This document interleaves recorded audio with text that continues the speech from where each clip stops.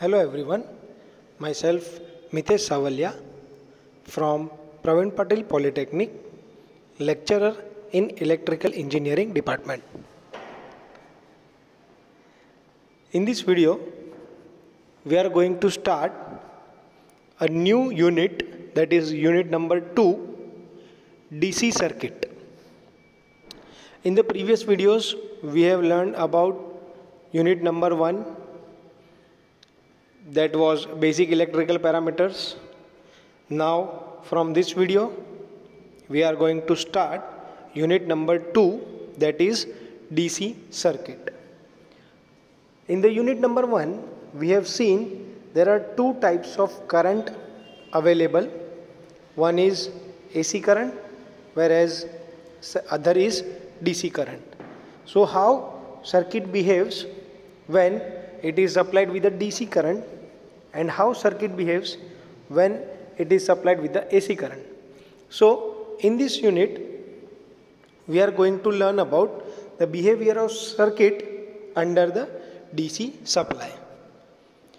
So we will start with the first point of the unit number 2 that is Ohm's law. Now this is a very basic law for the electrical engineering. So what Ohm's law states? Ohm's law states that the voltage across a conductor is directly proportional to the current flowing through it provided that all physical conditions and temperature remains the same that means the voltage which is applied across any conductor will always be directly proportional with the current. That means if voltage is increased then current will also increase and if voltage is decreased then current will also decrease. So this is the basic condition and to fulfill this condition we have one factor to keep in mind that all the physical condition as well as temperature of the conductor should remain same. In the previous unit we have learned that as the temperature of the conductor increases for some material resistance also increase and for some material resistance decreases.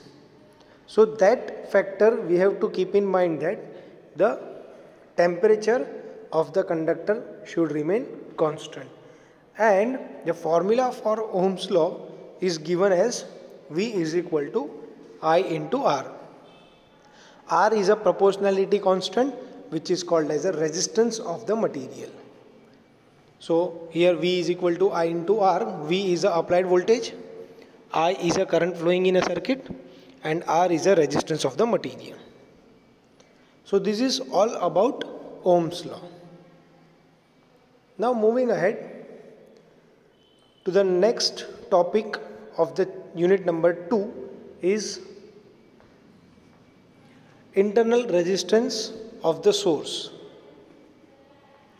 Internal resistance refer to the opposition of the flow of current offered by the cells and the batteries themselves, resulting in the generation of heat.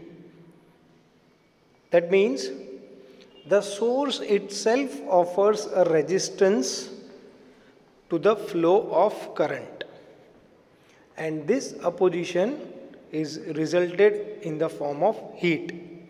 So the internal resistance refers to the opposition to the flow of current offered by the cells and battery themselves resulting in the generation of heat. Internal resistance is also measured in ohms as a normal resistance measured. The relationship between internal resistance small r and EMF E of the cell is given by E is equal to I into small r plus capital R. capital R is the resistance of the material or the resistance of the wire whereas small r is the resistance of the source. The resistance of the supplying source itself is denoted by small r. So E is equal to I in bracket small r plus capital R where E is the EMF that is electromotive force. I is a current which is measured in ampere capital R is a load resistance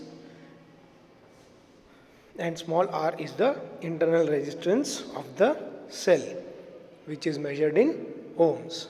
So each and every source have their own internal resistance which we have to consider while calculating the values and that internal resistance is represented by small r. Now from the circuit diagram you can see a voltage source is applied from the left side small r is the internal resistance of that EMF source and capital R is the resistance of the load through which current is flowing. So in this way a resistance internal resistance is connected in series with the EMF as it is a internal resistance of the source. So from the circuit diagram we have a clear idea about the internal resistance of source. Next is voltage drop in the internal resistance. The voltage drop is the decrease of electrical potential along the path of current flowing in the electrical circuit. Now what is the voltage drop? We will take one example. With that example we will get the idea of this concept. We have two bottles out of which one is filled with the water and other is totally empty. Now while transferring water from first ball bottle into the another bottle some water will get lost during the transferring. Now again while transferring the water from second bottle back into the first bottle again some water will get dropped. So that dropped water is the example of voltage drop. When 10 volts supply is applied 10 volts is applied at the input side. But while we connect the load, while current starts flowing, some voltage get drop across the resistance. So in the output side, we will get less amount of voltage. So this concept is explained here. A voltage drop is the decrease of electrical potential as we have seen in the previous unit that the definition of potential difference it is the difference between the two points. So that potential is decreased along the path of the current flowing in an electrical circuit. Voltage drop in the internal resistance of source across the conductors across the contacts across the contact connectors are undesirable because some of the energy supplied is dissipated. So here these are the places where major voltage drops are taking place are mentioned. So where the voltage drops are taking place? Voltage drop is taking place in the internal resistance of source. It also occurs across the conductors.